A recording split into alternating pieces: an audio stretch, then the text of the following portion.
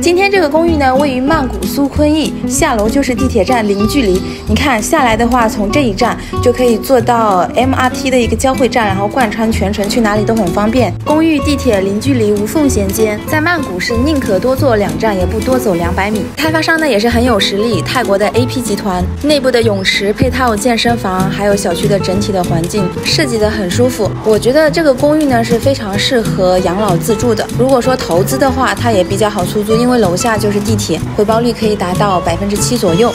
咱们现在看的这一套呢是三十二平的样板间，进门就是客厅，电视背景墙后面这里一块就是开放式的厨房，然后这个是卫生间。在泰国呢，这么多公寓二三十平的，其实你感觉都很舒服，因为它是没有公摊的，实打实的得房面积，所以呢一点都不压抑，看起来会比国内大很多。而且目前的话，公寓还是在搞活动。